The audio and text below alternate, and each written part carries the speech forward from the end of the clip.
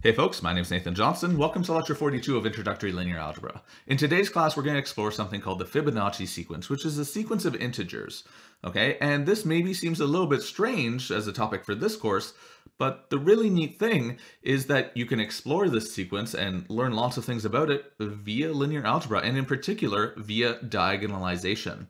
Okay, so what is the Fibonacci sequence? Well, it's a sequence of integers, and you might have heard of it before. It's the sequence where, you know, it starts off 1, 1, and then every term is the sum of the previous two terms in the sequence. So, for example, the next term in the sequence is 2 because, well, 1 plus 1 is 2. Then the next term in the sequence is 3 because 1 plus 2 is 3. And then 5 because 2 plus 3 is 5 and then 3 plus 5 is 8, and 5 plus 8 is 13, and so on, okay? You just keep on adding up two terms at a time to get yourself the next term. Okay, a little bit more properly, you know, let's give a notation for this. Let's say the first Fibonacci, f sub 1, is 1, and then the second Fibonacci number, f sub 2, is 1, and then after that, you know, the n plus 1th Fibonacci number, it's just the sum of the nth and the n minus 1th Fibonacci number. Okay, so that's how you get, you know, all the Fibonacci numbers after the second, uh, you know, for, as the sum of the previous two. Okay, well, how can we turn this into a linear algebra problem? Well, what we've got to do is we've got to kind of encode this recurrence relation here. This is called a recurrence relation where one value of a sequence depends on previous values. We've got to encode that in a matrix somehow. And I'm going to show you how we do it. Okay, in particular, notice that you can represent this recurrence relation via this matrix multiplication, okay? What this is saying, let's focus on the top entries, right? Over, over on the left, we've got a 2 by 1 vector. Over on the right, after you do the matrix multiplication, you're also to have a 2 by 1 vector. And what is the top entry of that 2 by 1 vector that you get when you do the matrix multiplication? Well, it's to be 1, 1 dotted with fn, fn minus 1. So you're to get fn plus fn minus 1 over on the right-hand side at the top there. So if you compare the top entries, you're going to get fn plus 1 equals fn plus fn minus 1, which is exactly the defining equation of the Fibonacci sequence. That's exactly what we said the Fibonacci sequence satisfies.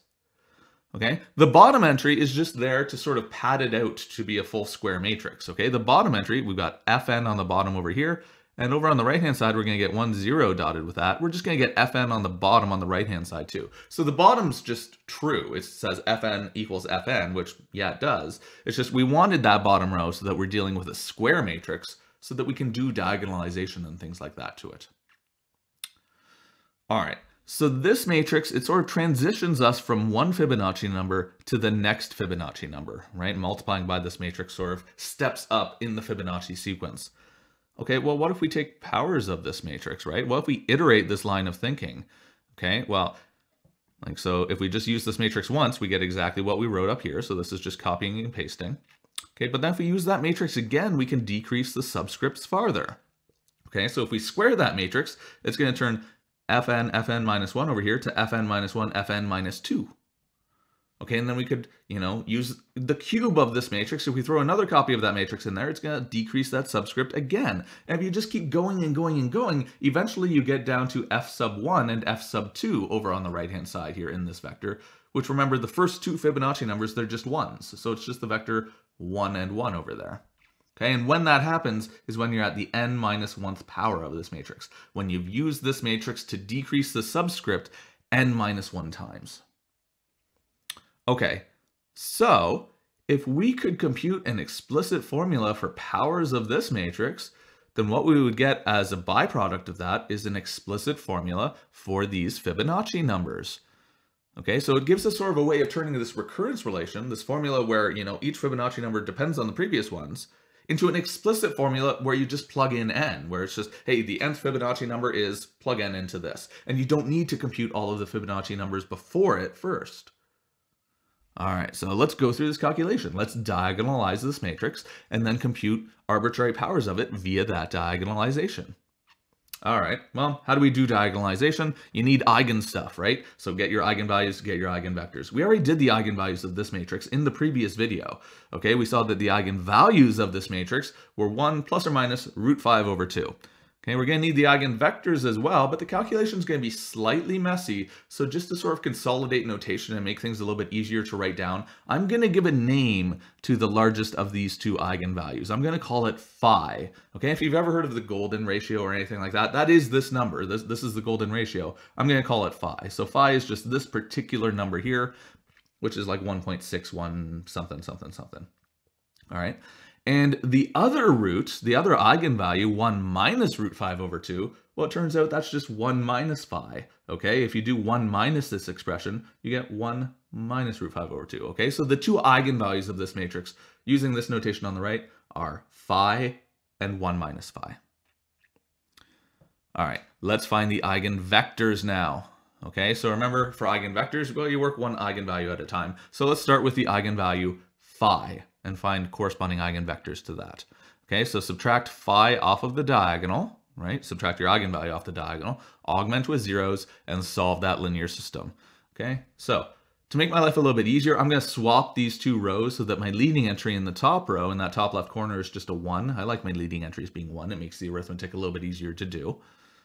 Okay, and then the next row operation I'm going to do is just to zero this entry in the bottom left corner. Okay, so I'm going to want to do row 2 minus 1 minus phi times row 1. Okay, so I did this row operation to get a 0 down here. And when I do that, I also happen to get a 0 down here.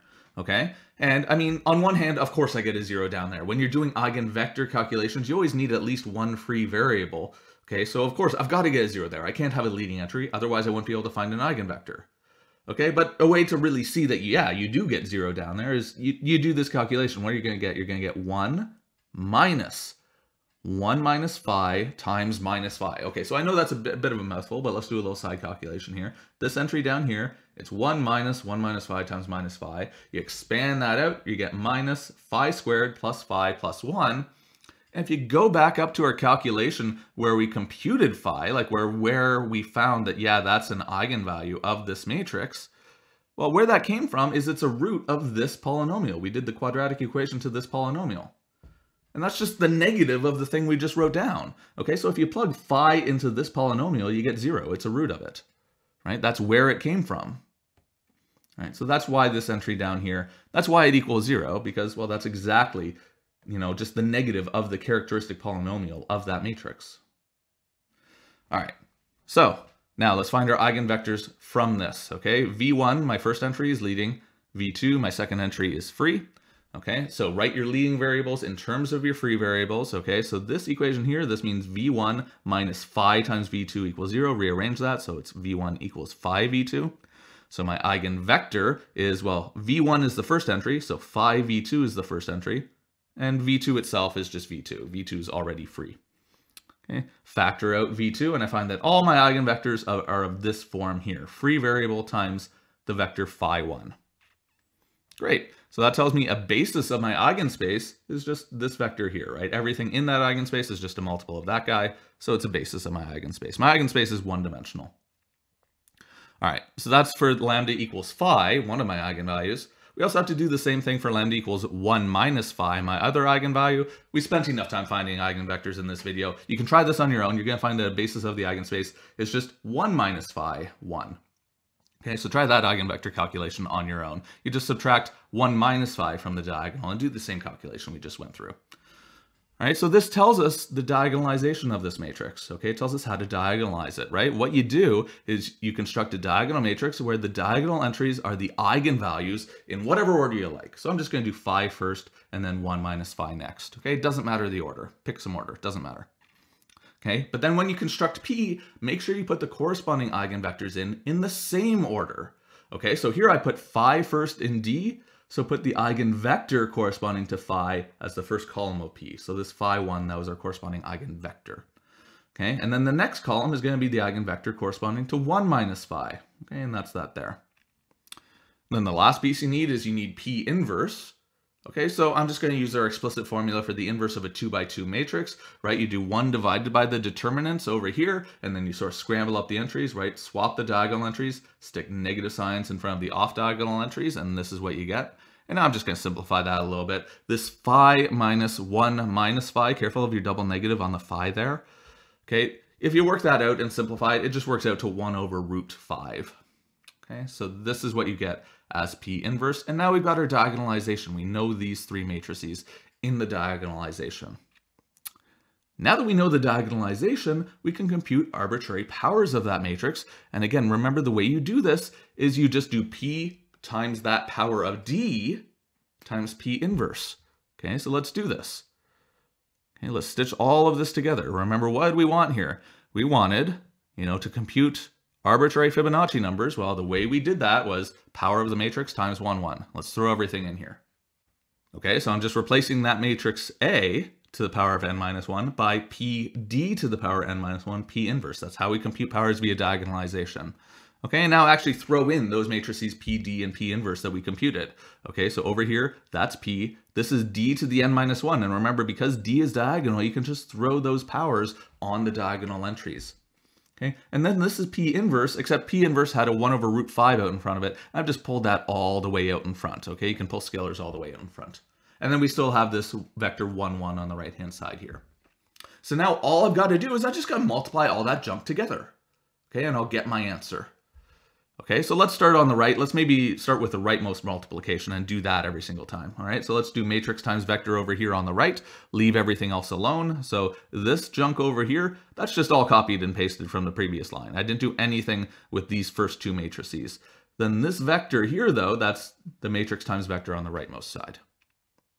Okay, and just keep doing that. Okay, next I'm going to do this matrix vector multiplication while I leave the leftmost matrix alone.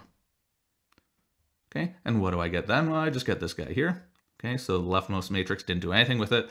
Matrix times vector was this. Okay, it's phi to the n in the top entry minus 1 minus phi n uh, in the bottom entry. Okay, and now I finally do the last matrix vector multiplication.